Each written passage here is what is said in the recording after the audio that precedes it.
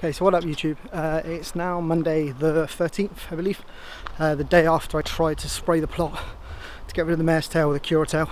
Um, the heavens opened last night to the point where literally it was torrential rain, so it's probably washed everything clearly off the plot. So I'm probably not going to have any dead mare's tail at all.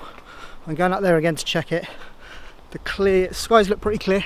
Um, I can't see many clouds and the ones I do see are white and not red black or anything like they're going to be chucking it down soon. So hopefully I can get away with spraying it tonight and then it will go work through and hopefully get rid of this mare's tail so I'll see you guys up there in a second.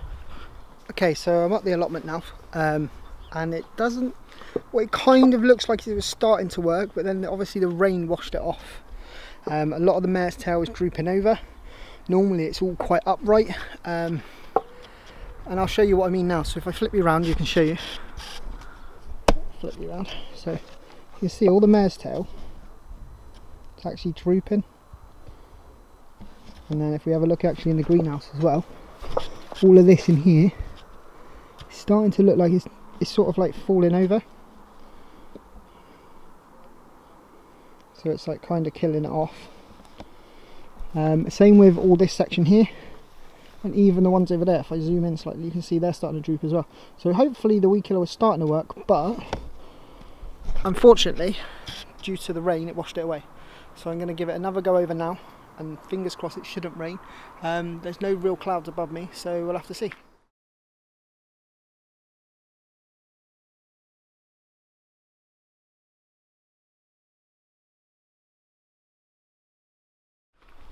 Okay, so I've left the plot today. Sorry about being such a short video today, but I just wanted to get up and get it sprayed and get out while the weather's still good. Um, I've done a little bit of a weaker dilution than last time because to be honest, I ain't got much of the Kurtail left and if this doesn't take fully, I want to do it, try and do it again.